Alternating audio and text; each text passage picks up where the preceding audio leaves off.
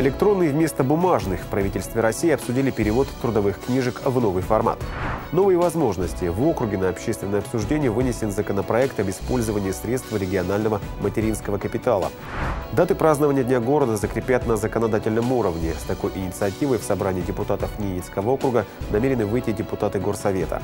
В Ненецком округе появится большая пустозерская тропа. Этот проект будет реализован на средства президентского гранта и прежде всего региона. На тропе установят арт-объекты в стиле ландарт. Время новостей на телеканале «Север». С вами в студии Илья Сахаров. Здравствуйте. В правительстве России обсудили вопрос перевода трудовых книжек в электронный вид. Как отметил председатель правительства Дмитрий Медведев, речь идет о создании базы данных, где будет храниться информация обо всей трудовой деятельности человека. Как известно, бумажная трудовая книжка может быть утрачена или подделана, или просто может не сохраниться информация о работодателе. И тогда возникает необходимость восстановления трудового стажа по довольно сложной процедуре. Работодатели будут передавать такие сведения в пенсионный фонд, причем в режиме онлайн. Это быстрее и удобнее как для самих работодателей, так и для работников, особенно при трудоустройстве на новое место, отметил Дмитрий Медведев. Дополнительные преимущества электронной книжки дадут тем, кто работает удаленно. Кроме того, при обращении за государственными услугами не надо будет предоставлять сведения о трудовой деятельности, о стаже. Все это будет уже зафиксировано в базе данных. Уменьшатся и затраты работодателей на кадровое производство. Очевидно, что внедрение электронных книжек должно быть поэтапным. Мы уже этим вопросом начинали заниматься. Работодатели продолжат вести традиционный бумажный документ для ряда людей. Также такая опция сохранится для тех, кто захочет иметь и бумажную версию. Передавать документы в электронном виде в пенсионный фонд начнут с 1 января 2020 года. В течение следующего года нужно будет решить все связанные с этим правовые и организационные вопросы. Разумеется, проинформировать и подготовить работников. Что касается электронного документооборота по кадровым вопросам электронного надзора, который позволит работодателям отправлять информацию проверяющим органам в электронном виде, сейчас такая система опробируется. По итогам эксперимента Минтруд подготовит предложение по распространению такой практики. На трудоустройство подростков и студентов из бюджета Ненецкого округа будет направлено 32 миллиона рублей. Об этом сообщил руководитель Департамента здравоохранения, труда и социальной защиты населения НАО Сергей Свиридов. Всего в рамках кампании планируется трудоустроить одну тысячу подростков от 14 до 18 лет и 200 студентов. На сегодняшний день в Центр занятости населения Ненецкого округа поступило 1196 заявлений от несовершеннолетних граждан. В сельских поселениях 351, в городе 845. С начала года при этом уже трудоустроено 746 подростков, из них в июне 649 человек.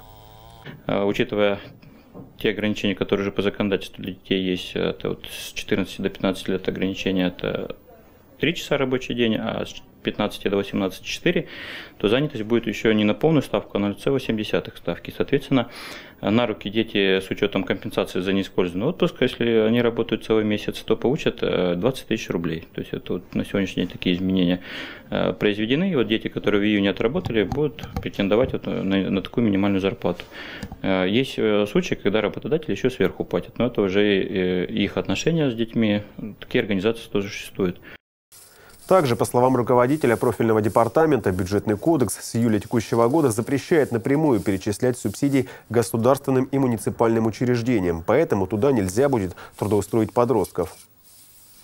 Мы сейчас провели оперативную работу и произошло замещение рабочих мест в государственных, муниципальных предприятиях, управляющих компаниях, то есть э, других некоммерческих организа... коммерческих организациях эта информация сейчас нами представлена. И я бы э, сказал, что повод для переживаний не должно быть. А те обязательства, которые брал на себя окружной бюджет, компенсировать трудоустройство тысячи детей, они будут выполнены в полном объеме, только рабочие места будут созданы уже в других организациях. На сегодняшний день это уже информация есть, июль уже полностью проработан и на селе, и в городе, и в искателях. Кроме того, по поручению временно исполняющего обязанности губернатора НАО Александра Цибульского, по аналогии с несовершеннолетними школьниками, при окружной поддержке летом смогут трудоустроиться и окружные студенты, приехавшие домой на каникулы. Всего порядка 200 человек. В настоящее время юные жители НАО могут заявить о своем намерении работать летом и предоставить анкету в региональный центр занятости населения через региональный портал госуслуг. Больше всего подростков в рамках программы летнего трудоустройства работает в компании «Чистый город». Ребята следят за чистотой улиц и участвуют в благоустройстве города, высаживая цветы. На сегодняшний день школьники посадили уже порядка 7 тысяч растений. Красивые клумбы можно увидеть возле памятника Ивану Вучийскому, самолета ХМБ, городской администрации и других общественных мест. Выкапываем яму, чтобы цветок сел вот так вот. Ага. Насколько глубокая должна быть ямка? А, ну, не особо глубокая, но чтобы горшок примерно немного входил в землю. Потом закапываем сам этот цветок угу. и прижимаем землю. Примерно так получается. Владимир Семяшкин с легкостью высаживает цветы. Молодой человек работает в компании «Чистый город» в рамках кампании по летнему трудоустройству подростков. Сначала он убирал мусор на городских улицах, сейчас придает центральной части Наринмара эстетический вид. По соседству с Владимиром работает Елена Лапина. Для девушки это первые трудовые каникулы и первый опыт по высадке цветов. Ну, это достаточно интересно, и я саморазвиваюсь. Вот. То есть я думаю, мне это пригодится в жизни. А дома? Дома, нет, дома этим занимается мама. Я не лезу туда. Этим летом Чистый город закупил на рассаду у тепличного комбината «Солнышко» 16 тысяч цветов. А это на 4 тысячи больше, чем в прошлом году. Весь процесс проходит в два этапа. Первый – высадка, второй – замена поврежденных растений. В этом году э, на основании прошлого года мы выбрали те цветы, которые больше придают эстетичность. Вот. Это петуния махровая и петуния крупноцветковая. Они удобны в посадке и выглядят они более красивыми и привлекательными. Также наши любимые бархатцы и цинерария разных расцветок. После посадки растений за ними полагается тщательный уход. Сотрудники чистого города в течение всего лета будут поливать цветы и следить за их состоянием. Иван Никонов, Людмила Сидейская, Сергей Качиков, телеканал «Север». 1 сентября в детские сады Ненецкого округа пойдет на 236 детей больше, чем в прошлом году. Увеличение числа воспитанников до 3580 человек удалось достичь благодаря вводу в эксплуатацию нового здания детского сада «Ромашка» по улице Авиаторов. Планируемое количество детей, которые в новом учебном году впервые пойдут в дошкольные учреждения, составляет 459 человек. С сентября 2018 года образовательную деятельность на территории Ненецкого округа будут осуществлять 54 организации. Из них 26 школ, 22 дошкольных и 3 профессиональных образовательных организации, а также 3 учреждения дополнительного образования. Учеников в окружных школах также станет больше по сравнению с прошедшим учебным годом – 6,5 тысяч человек. Более 720 из них переступят порог школы впервые.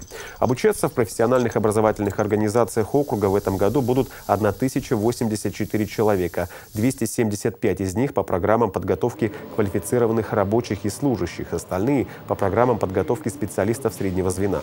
Планируемое количество первокурсников, которые будут обучаться в округе на бюджетной основе, составит 250 человек, из которых сформируют 10 групп. Законопроект о расширении направлений использования средств окружного материнского капитала вынесен на общественное обсуждение. Предлагается расширить возможности направления средств на получение ребенком или детьми платной медицинской помощи, санаторно-курортного лечения и реабилитации, компенсацию затрат на проведение текущего ремонта жилого помещения, находящегося не только в собственности членов семьи, но и в пользовании по договору социального найма. В настоящее время в окружном законе четко определено, на какие цели многодетная семья может получить деньги из мат-капитала.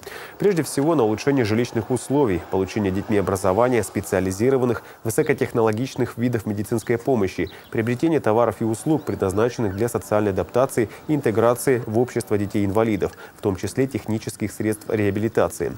Существуют и другие направления применения капитала, такие как приобретение снегохода, лодки, лодочного мотора, сельскохозяйственной техники, строительства бани. Кроме того, есть возможность получить единовременную выплату 30 тысяч рублей на нужды семьи. В феврале 2018 года окружные депутаты расширили возможности использования регионального материнского капитала, согласно которым многодетная семья может направить его на улучшение жилищных условий на территории России. При этом многодетная семья не должна состоять на учете лиц, нуждающихся в улучшении жилищных условий на территории округа. Потребность есть, а желания нет. Жители округа не хотят вступать в добровольные народные дружины. Об этом сегодня в ходе заседания Межведомственной комиссии по профилактике правонарушений в режиме видеоконференц-связи сообщили главы муниципальных образований. Среди населенных пунктов, где добровольные народные дружины не созданы, несмотря на активную агитацию и информирование людей со стороны сельсовета Нижняя Пеша и Шойна. Впрочем, в последнем муниципалитете нет даже участкового полиции.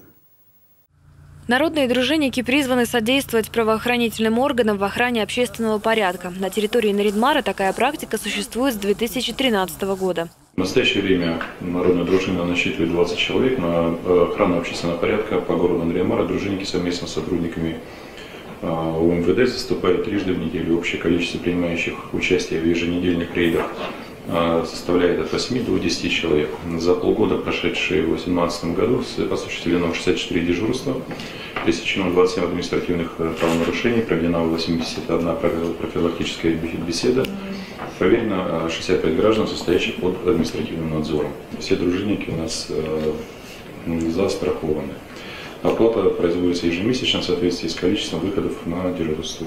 Главы муниципальных образований сетуют на неактивность со стороны местных жителей. Люди не хотят вступать в добровольную народную дружину. И здесь несколько причин. Одна из них – необходимость прохождения врача-нарколога. Для этого необходимо приехать в Наринмар. Жителям отдаленных сел такие поездки обойдутся в немалую сумму. Еще одна причина – родственные и дружественные связи. Люди не хотят брать на себя ответственность, наказывая близких за правонарушения. В Рио начальник окружной полиции Владимир Макеев отметил, возглавить народную дружину должны руководители муниципалитетов.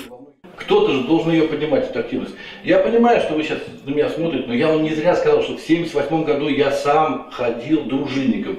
Никто мне не доплачивал, жилетку мне никто не давал, отгулы мне не предоставляли, я сам это ходил и делал. Вот я на собственном примере вам говорю, если вы сами не возглавите эту работу, ни один участковый вам ну, этого не сделает за вас, потому что вы, вот, вы там власть представляете. Да, вместе с участковым, да, я не снимаю с них ответственность, они должны это делать. Они должны это делать, но только вместе с вами, вместе с активной частью населения. По словам Владимира Макеева, число зарегистрированных преступлений в округе увеличилось почти на 13%. Вместе с тем, количество совершения особо тяжких преступлений сократилось. На увеличение числа зарегистрированных преступлений повлияла более эффективная работа по выявлению преступлений против семьи и несовершеннолетних, в сфере незаконного оборота алкогольной продукции, налоговых составов, преступления экономической направленности, э, экологические преступления, а также деяния, деяния против порядка управления. Кроме того, э, больше выявленных преступлений превентивной направленности предусмотрены э, статья 116, это побои и э, то, что связано с э, административным надзором. По информации окружной полиции отмечается рост числа выявленных лиц, совершивших преступления, почти на 20%. Поставлено на учет порядка 1800 протоколов об административной ответственности. Ирина Нежалова, Антон Водряков, телеканал «Север». Определить уровень алкогольного опьянения у водителя можно будет как с помощью алкотестера, так и анализа крови. Об этом гласят изменения в Кодекс об административных нарушениях, которые вступят в силу с 3 июля. Сейчас алкогольное опьянение проверяется только по анализу выдыхаемого воздуха. И если взять кровь на анализ, то ни один суд не примет это как за улику, так как в законе не прописана возможность устанавливать трезвость по содержанию алкоголя в крови. Но с 3 июля у сотрудников полиции появится альтернатива проверки.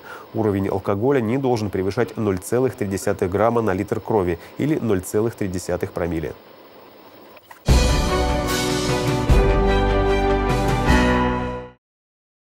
Городские депутаты предлагают законодательно закрепить, что 10 марта – День города. С такой законодательной инициативой они намерены обратиться в собрание депутатов Ненецкого округа.